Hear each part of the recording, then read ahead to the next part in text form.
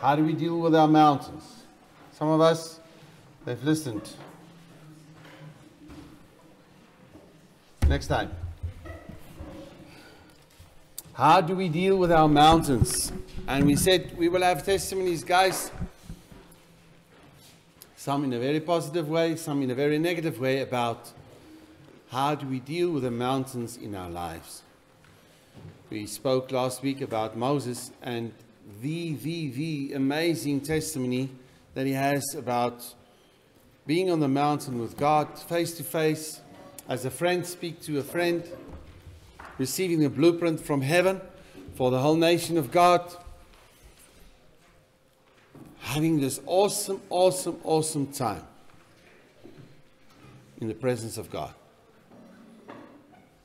And then the others, they saw the same mountain, but they only could see the smoke and the thunder and all of those stuff. So for all the rest, for the same mountain, they said, no, no, no, no, no. Don't let God speak to us. Don't let God speak to us. Moses, you speak to God, and then you come and speak to us. What is he saying? But it was the same mountain. How do you interpret the mountains in your lives, my brother, my sister? You look, look at the smoke, you look at the thunder, or can you see beyond so that you can gain, have this awesome, awesome, awesome time with your master on the mountain? The two different testimonies from the Israelites and from Moses. Total two different scenarios. I'm asking you tomorrow, one of you could have an experience like Moses on the mountain. And in the same circumstance, the person sitting next to you right now could have a hell of an experience and say, Whoa, I don't know where's God. I don't know how to speak. Somebody must tell me what God is saying. I cannot hear Him. I don't feel Him. I don't experience Him. Israel and Moses. Same mountain, same God. What will you have tomorrow? My question today is my, my prayer is that you will understand how to distinguish what mountain are you standing in front of. Because you know, when we are negative or we are too negatively inclined, too pessimistic, etc., etc. We can stand in front of the mountain, and every mountain in front of us, we want to stand against it in the name of Jesus Christ and let it be removed out of my way into the sea. But that's when I could be so task orientated, I could be so in a certain mode. But meanwhile, it's a mountain where God has placed that mountain there, not the devil, because He wants you to come up to meet with Him. Call a mountain an opportunity. Call a mountain a platform. A platform for opportunity. So God gives you the platform for opportunity, the platform where you can come up into that place and say, God, it's all about you. It's, if I feel like it, if I understand what's happening around me and in me and with me, it doesn't matter. I love you. I honor you. And if you, create, you created that platform for me today to say that, here I am. Here I am, just to say that I love you and I honor you. Not that I say I love you so that I can receive something. But the essence of my being is that I can love you. I can worship you. I can say that you are my God. And to say that, that's life. That is not so that I can get something out of life. That is life. To love you, to say I love you to honor you. To look at what I feel around me or what I see around me and say, still I will choose to honor you. And that resonates, that voice is resounded in heaven. The people of God on earth, in spite of what they go through, they say, I love you, Lord. In heaven, they cannot say that. On earth, they can say that. In spite of, still I will. In spite of what I experience, still I will honor you. In spite of me not understanding who you are, still I love you, Lord. And that's the song from earth that no angel, person in heaven forever can sing. That song. That in spite of what I feel, in spite of what I see, still I will love you, still I will honor you. Amen. Amen. May that be your song on your mountain tomorrow, for the mountain that God gives you tomorrow. But you know, we can quickly talk about a few mountains, but first one mountain where it's all about worship. When you got, get up the mountain, yes, it's a place where we see Moses just in total worship, surrendering everything before the Lord when he received the mandate. But then we also see the mountain where Abram had to go and offer up Isaac. Then we also see a mountain where Jesus were taken by the devil on the mountain. And a proposition were made about worship. About worship. Abram had to choose between vision and worship. Why? Abram, there's a vision that nobody has received to be a father of the nations. And the first child you have, the first way that you can see how your vision can become a reality, come and kill it. Come after all these years of standing in faith, by faith, speaking, stand faithfully with the Lord, believing in His promises, and the moment when it became a reality and you have Isaac, come and slaughter. Come and slaughter what you received from me. And he says, This is worship. What? Because he knows he's God. This is worship. This is what? It's all about him. So if I do it, I do it because it's all about him and he is able to raise my child from the dead, even if it must. But I will worship. We will go up to worship. I will not go there to kill my son. I will not be a murderer of my son. I will go up there to worship. Are you with me? I will not go up there so that I can go and kill and slaughter my son and be called a murderer. I will go up there as a worshiper uh, it's some perspective that the man had. But for that in our lives, my brother, my sister, when you go up the mountain, your perspective, your perspective in why you are up there, so important. When the devil come to you and say, no, this is what God promised you. This is what God promised you. This, this, this, this. Yeah, you can receive. You can receive all the promises that God has given you. And the devil reminds you of that. Like, like the devil came to Jesus and said, Kingdoms of this world can become yours, according to the word, eh? The kingdoms of this world will become the kingdoms of our God in Christ Jesus. It is the reason why Jesus, you came to earth. So for your calling, your calling can be fulfilled. You can receive your inheritance. You can receive according to how you see the things. You can receive it all as long as you focus a little bit more on me than on God, your Father. Worship. And the devil put it before Jesus. Jesus says, Get behind me, Satan. For it is also written. Are you with me? Make sure that on that mountain, when the temptation is there, it is for you to sort out your heart. God will put a mountain tomorrow in front of you the devil believes that you're going to fall, you're going to fall, you're going to fall, you're going to be deceived because you will stand on the promises of God, you will remember what God said to you, and you will stand on that, but your focus will not be God. So the devil has the faith for tomorrow. But on that same mountain, God believes that you will sort out your priorities on that mountain so that from that day, from that moment on that mountain, you can go forth with what He has for you when Jesus made that final decision. No, get behind me, Satan. This is what will happen. I will worship my God. From that place, he went back and he went into his ministry. That was it. It was baptized in the Holy Spirit. Holy Spirit, like a dove.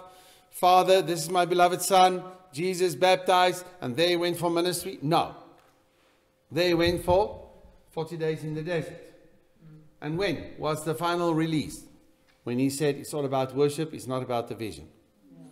It's not, first of all, about the job, it's about worshiping you forever.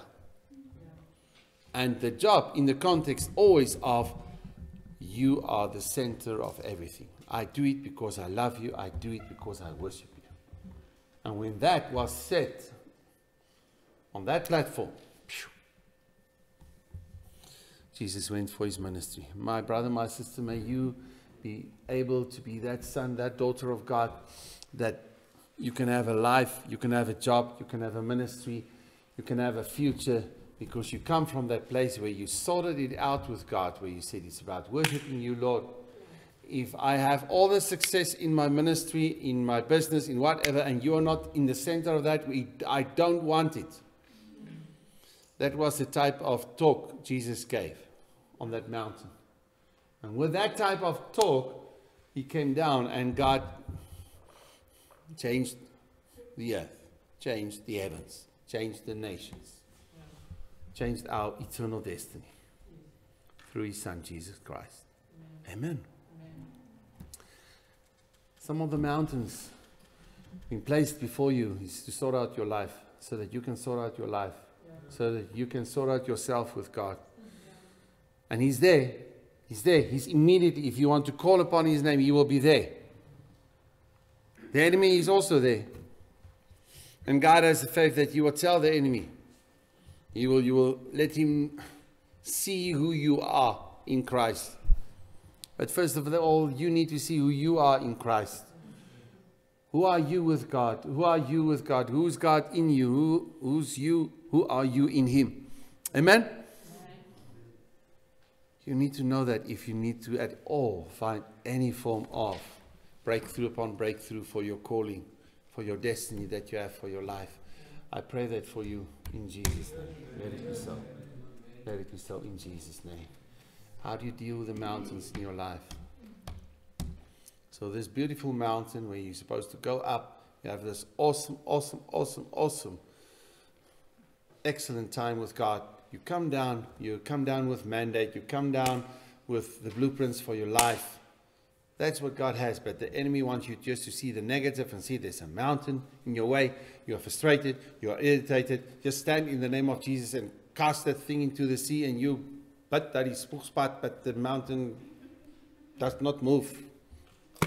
And you are frustrated. But meanwhile, you're standing and throwing a tantrum at the mountain of the Lord, where you're supposed to go up the mountain and not throwing a tantrum, why is the mountain not being removed and thrown into the sea? it only happened in my life, not in your life. I'm saying, may Holy Spirit help you to identify the mountains, to see the difference of what mountain is in front of you. There's a mountain that must be removed.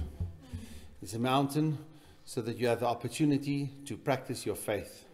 God will put a mountain there, and it's not even a big deal. It's not a big issue, but He's putting it there so long so that you can practice how to walk by faith, how to speak by faith, how to speak by faith to the mountain. And He will put it there so that you can practice. So, God, how I must practice my faith tomorrow, show me.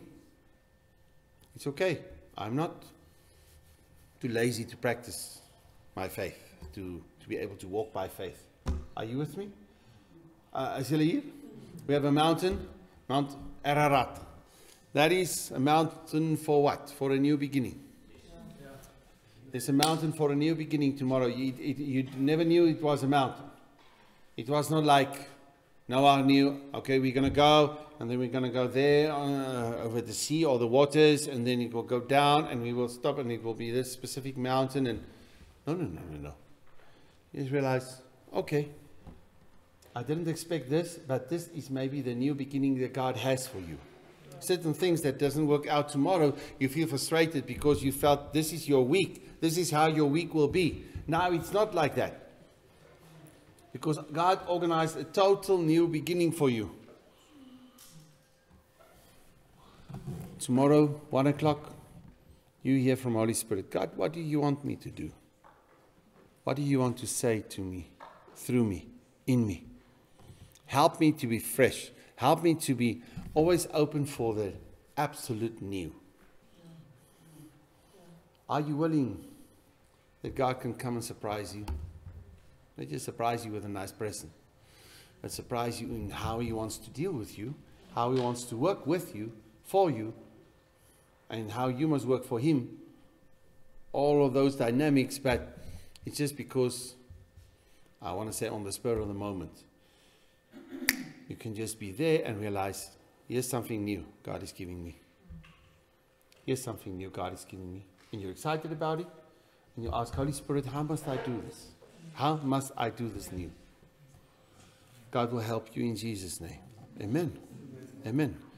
We find the mountain. Give me another mountain. Mount Zion. Mount Zion is about God's presence and where God dwells, the mountain of the Lord. Okay, we find in the New Testament, right at the end, we see the new city, Jerusalem, will come down from heaven on Mount Zion. On the mountain of the Lord, the city, the new city, Jerusalem, on the mountain of the Lord. What is it all about? Jerusalem is the habitation of peace, the place where peace dwells.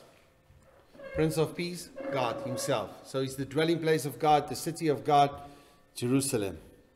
This new city, it's about heaven? No. It's more than heaven, it's about me and you. We are the new Jerusalem. And the perfect, fulfilled plan of God, all the nations that had to come together to be called the Church of Christ. Church is the called out ones. Called out. Called out of all the nations. We call it the church to become the New Jerusalem, the home of God. Amen. Where? On a mountain, on a place, on a platform where God is always, always, always honored. Where He is always praised. He's never questioned. There's not a battle. There's not stress. There's no stress. There's no all these other things. It's just God is purely just 100% He's honored. He's worthy. That's who he is. That's Mount Zion. That needs to be established in your heart as an eternal platform for God's praises. So that when you come tomorrow in a situation, you live from that place, Mount Zion. You come in a situation and the platform is established that I will honor God, doesn't matter what. I want to kill that guy, but I will not. God, God has a plan for his life, you know, and you find the emotion, and the one is not not to be angry at the person anymore. That is not the opposite. The emotion of I want to kill you because of what you've done. The opposite of that is I'm excited about what God is going to do for you. So it's not just about dealing with the I have peace with that guy of peace. I've forgiven you. No. I'm excited that God has an excellent plan with that man. That's the opposite. Yeah. Are you with me? Yeah. There's joy. There's a joy. The heart of God is revealed on Mount Zion. The heart of God for the people. If you are in God's holiness, if you are where God is, you are in his heart for that people. So if God's heart for that man is, he feels this and this and this. I must be having the same heart that the Father has for that man. Are you with me? May God help you. May God help me that we will really be in that place. We find Habakkuk mountain. Yes, even if I feel I'm in the valley, I will choose to stand on my watchtower. I will go above. I choose to say, I will go above my circumstance. That's when you say, I'm going to stand on my watchtower. You say, I will go above my circumstance and I will see what he is saying. I will not just hear what he is saying, I will see what he is saying. Hello? And then when I see what he is saying, even though nothing changes, but if I can see what he is saying and I can write down what he said, and nothing even changes, still, I will rejoice in the Lord. I will rejoice in the Lord. I will be able to sing unto my master. Because he's the one that giving me perspective, just like this. Because he makes my feet like hinds, hinds feet. Hein, hinds feet. You know that, ne? En maak my voete soos die that the feet just go up, up the hill. You know, the, uh, you saw also the photo of the, the buck standing on the dam wall. That's not a swear wall, that's the water dam wall. And then the, they stand there. Hey? Nobody saw that. One or two saw that. At that, at that on that slope, daai box down nie daar. He's just there. He's just he just know how to do it. No fear of heights. And he just has this amazing, amazing, amazing skill to get up there and to get down. You have this amazing, amazing, amazing, amazing skill from God, given from God, just to climb at that up that mountain. And that you just have that perspective. You can just have the right perspective, looking down into your situation. Just like this. But all in the context of joy. Joy. Still, you will worship Him. Still. All in the context of joy. So make sure your life is filled with joy, not based on your circumstance, but based in spite of your circumstance, based on God's emotion over you. As we know, joy of the Lord is your strength. It's His joy, not your joy. It's His emotion. Make sure that you work with God's emotion over your life. Amen. But for that, my brother, sister, on the mountain, there you go. On the mountain. Maybe in, with all these teachings and the things that we did in the past, maybe make sure you have some time there at the crosses, just, just for the sake of bringing yourself maybe in an environment to help you to uh, assimilate you, to take it in and let it explode inside of you. Amen. I, I challenge you. Go and do that. Go and do that. Okay, so that's about um, the opportunity to honor him in spite of. There's opportunities to honor him in spite of. That's Habakkuk. God gives you tomorrow that opportunity. You take the platform and say, I'll, I'll praise you, doesn't matter what. That's Habakkuk. Amen. Amen. That platform. But in, at the end of the day, in everything, the platform to sort out your heart that it will be about Him and not about any other thing. Amen. Yeah. Any other mountain that we talked about first session? Mountain of Transfiguration. Mountain of Transfiguration, a mountain where you just be, be silent. Don't, when you speak, it's going to be a stupid idea. There's sometimes a place where you must be with God where you must just be silent. Because when you speak, you're going to be stupid. What you say. Not you are not going to be stupid, but. So it's this amazing, amazing transfiguration of Christ on the mountain. And uh, let's get an idea. Peter, let's build three huts. Very nice, but no thank you. It's not God's idea. Just, Peter, just enjoy. Just grasp. Just take in what you see. Sometimes on the mountain, God wants to you, show you something excellent about Himself. Yeah. He wants to transform Himself to you in a, in a way that you will see so much more of Him than what you would naturally see in your walk. Yeah. But He wants to explain Himself to you without you. You didn't ask for that. You didn't ask for that. You didn't ask that He will show Himself in such a way to you. But He just wants to. He wants you to see that. They didn't ask, Jesus, can we see you in, in this way? And maybe with if Moses or Elijah or somebody like that can come and show up also, you know, please? No. But he just did it. You know, sometimes on the mountain, God will put a mountain there and he will call you up to, on that mountain because he just wants to be do something special for you. He just wants to show you something special about himself. You know? That, you know, he's the Son of God, and I hear the Father say so. I see the Father is bragging about his Son, saying, This is my beloved Son, listen to him. And the Father said, I must listen and I must obey. Jesus Christ, my Master. I heard that on the mount. I heard my Father. Hello? Yeah.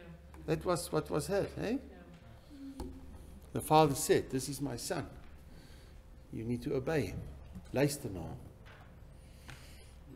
May God help you. May help you really that we will have more and more that type of revelation to understand who is your who is our Father. And that even our Father can say, That is my daughter, that is my son, that is my daughter, that is my son. Enjoy me when you look at them. See my love, see my peace, see my faithfulness, see my favor, see my grace. When you even look at their mistakes, see how my grace is upon them. So many things God would want to say to you if you are just open. Can God take you on a mountain and surprise you? Just give you this major surprise about what He wanted to do on that mountain that you never thought of. You didn't ask for it, you didn't expect it, not at all.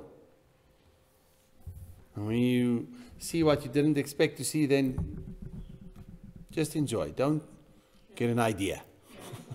Let's build huts. Are you with me? Sometimes we must just learn how to be and how not to get ideas.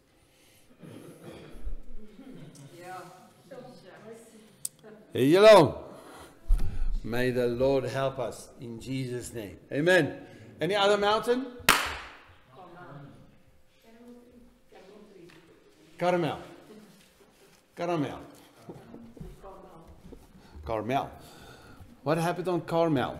Elijah and the Baal Prophets. Well, oh, that was one of the ones that we didn't speak about yet. Yeah. Okay. Elijah and the Baal prophets. And the amazing thing in the Old Testament, so many places on the on the high places, on the mountains, where the people offered, they did worship, they offered all a lot of rubbish to all the gods, even offered up their own, slaughtered their own children. Yeah, how the, the heathen did it in that way. the high places, you need to finally, finally make sure that you sort out who will you worship and who not. It will be Him and it will be Him alone. I will call unto Him and Him alone. You will not build altars anymore. No. But how? In prayer, in worship. That's like building an altar. There's a mountain, and on the top of that mountain of your life, you put that altar there. I worship you, Lord. There's a mountain. On the top of that altar, it will be your worship. I pray, I honor, I worship you, I love you. And then this mountain in front of your life, at the top of every mountain that you face, at the top, at the top, there will be only one thing God's honored. The name above all names. He's the one, nobody else. Hallelujah, praise the Lord. He's the one. what did we say when it went down? Talked about the charas.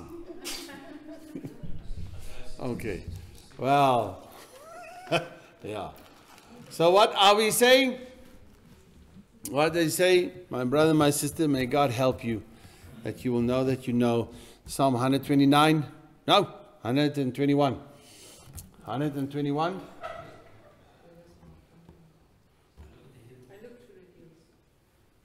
I look to the hills. Ek slaan my oop na die. Where will my help come from? My help comes from the Lord my God. Okay, good. When you look to the mountains, you will know there's only one place where you will find your help from, and that is from God. Not like the heathen that will that will uh, offer up even their children on the mountains. No. Not from those gods. No, but from God and God alone. That's where you will find your help. What do you do with your mountains? In that place, there's a clear voice. There's a clear voice. In your heart, there's a clear voice. We looked at this, um, you remember, 666? 666. Those who did, who listened to that specific teaching, praise the Lord. If you didn't, you are forgiven. Just go and on the home family group and go and listen to the teaching. Okay. Goed. Dit was 'n objekles. Wat doen ons dit? Ja. that thing.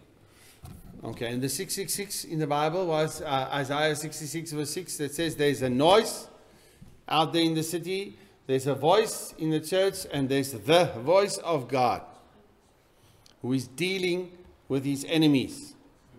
The voice of God is dealing with his enemies. When God speaks, the enemies has nothing that they can do. So when the voice of God, when God speaks to you in a gentle way and say, "You are my beloved child," in the same in the same, at the same moment, he's dealing with the enemy that's telling you you are worth nothing. You are rubbish. Self condemnation, inferiority, and all the other rubbish, all that other demonic voices. He's dealing with those rubbish. When his voice, when he's speaking, his voice is changing you, beautifying you, bringing deliverance, bringing freedom, but at the same time, that same voice is dealing with the enemy. When he opens his mouth, the enemy needs to flee. Are you with me? So die Here deel met jou. Die Here deel met jou vyande wanneer hy met jou praat. When he tells you how precious you are, you must just know he's dealing with your enemies enemies are not impressed with what God is saying to you. May you enjoy and may you appreciate His voice. Appreciate His voice. For your flesh, it's one hell of a charas, one hell of a noise for your flesh. But there's a voice, and that's your voice that is precious, that's beautiful. God gave everything so that there, there could be a beautiful, beautiful voice of a son of God, a, a daughter of God, that will call out, cry out to him. And that voice is beautiful. That voice is clean. That voice is uh, yeah, clean. It's, it's not filthy, if I can say like that. Because God touched your voice. When you became a child of God, you received a clear voice as a child. The voice of your spirit is perfect. Perfect. Your voice as a child of God is perfect, but you can put a lot of rubbish in your voice and a lot of haha vocabulary. And you know the um, stem tone? Tone of voice that can, uh, that can portray the attitude. Or the tone of voice can say how much I love you, Lord, how much I respect you. And with your tone of voice, you can capture, you can capture the message of it's you and it's all about you. Yeah. Amen. My brother, my sister, you have a beautiful, awesome, beautiful, heavenly voice. Yeah. Washed by the blood of the Lamb, clean. And God wants the worship coming from that voice. God wants the wor- worship to come from that voice. Holy Spirit, testify in your spirit. Amen? Amen? That you are children of God. Romans 8. So the voice of the Holy Spirit and the voice of your spirit speaking together. When two can speak together, but there's such an amazing way that they speak amazing way. There's a, such a harmony in how they speak together. Are you with me? So, in an amazing way, the voice of the Holy Spirit and the voice of your spirit wants to speak together. If you can allow God's voice and your voice, voice of your spirit, to speak together, where two or more agree.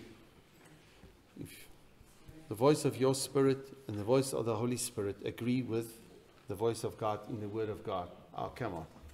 What can happen for you? What foundation can be laid for tomorrow? What difference can come into your life for tomorrow? Not just the voice of an opinion, be careful. You check a voice to have authority in your life based on if you agree or not agree. Be careful. Based on if you feel and sense this is God or sense it's not God. Because if you just allow voices in your life based on I can understand why and not.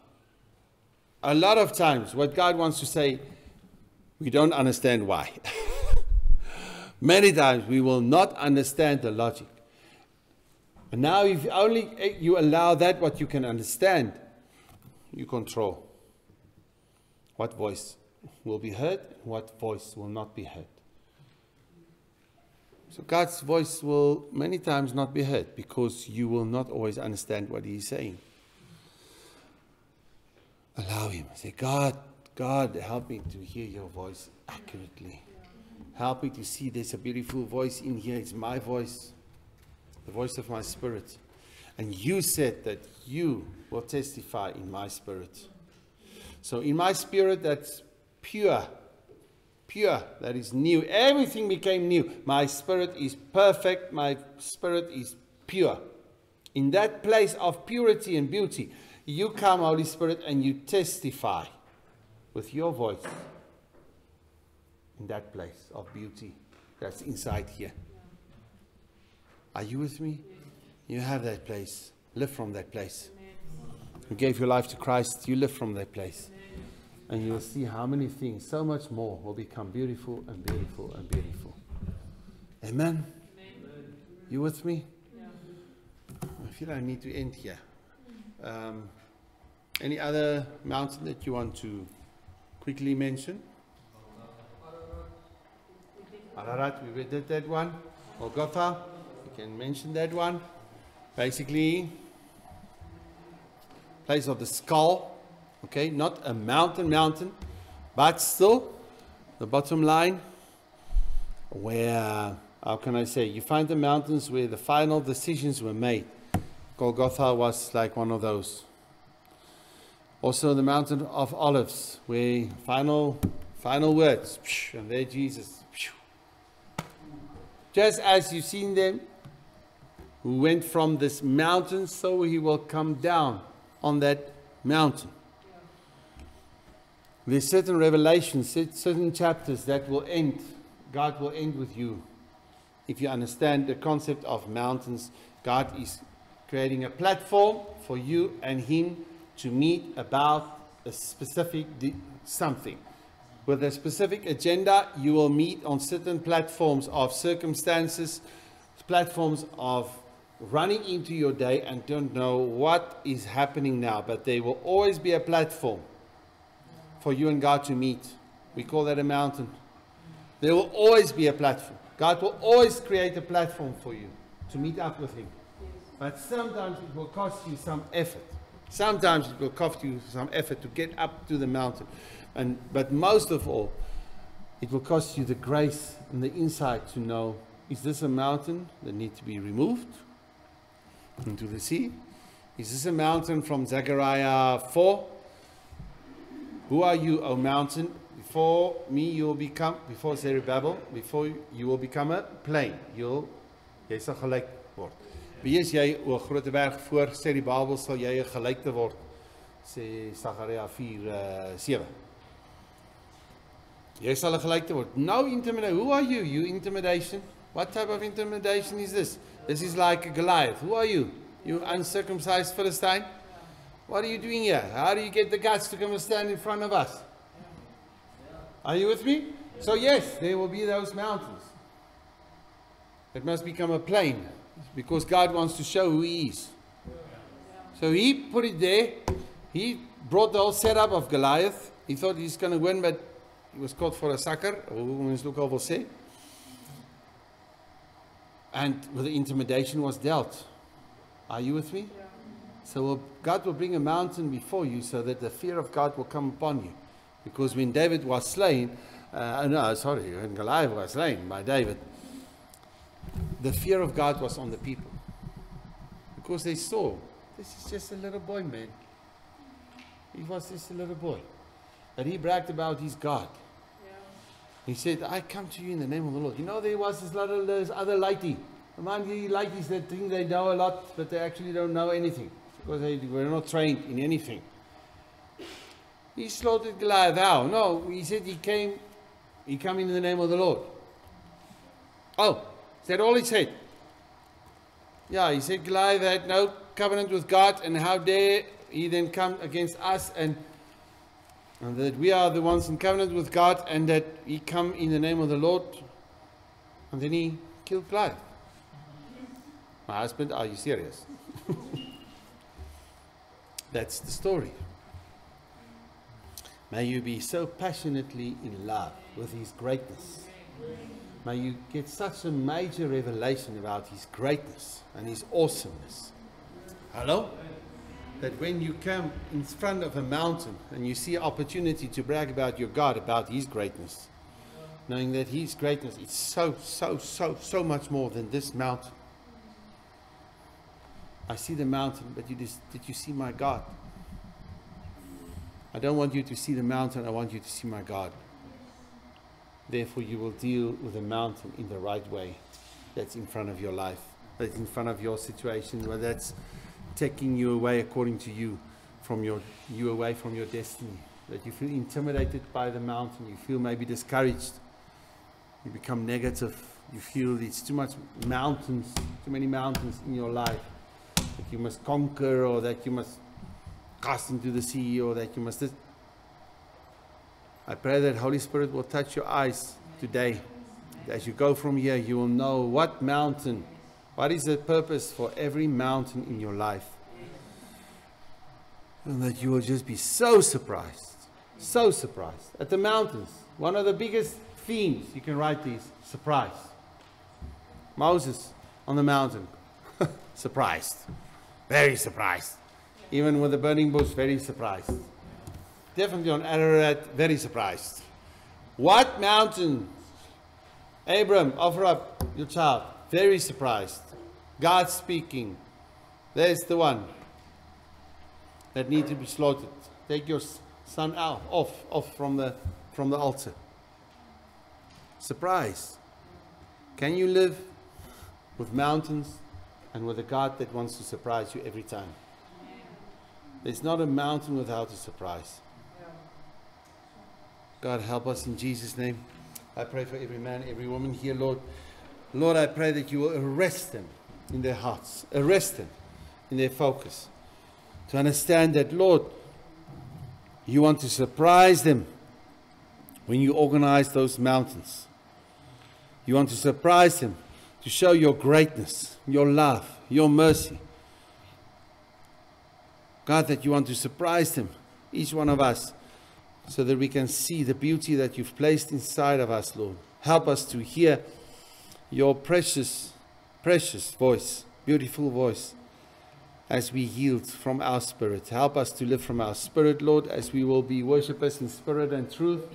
That from our spirit we will worship you. From our spirit we ask, Yes, Lord, open the eyes of our hearts. And that is because we can see through our spirit. We trust you for that. We honor you for that. We thank you for that, Father, that you just come and do that. I pray that for every man and woman here, that they will have, they will have the capacity to see beyond the natural. Say they will see what you are saying, Lord. They will choose to stand above their circumstance, like on a watchtower, so that they will go, will go out with joy, be let forth with peace, Lord. In Jesus' name, I thank you, Father, and thank you that you help these brothers and sisters, all of us, Lord, that we will understand how to deal with our mountains in the right way, that life, God, life can be so beautiful with you if we understand the opportunities that you are giving us. God, you are giving us opportunities and you, you believe that we will deal with the mountain in the right way.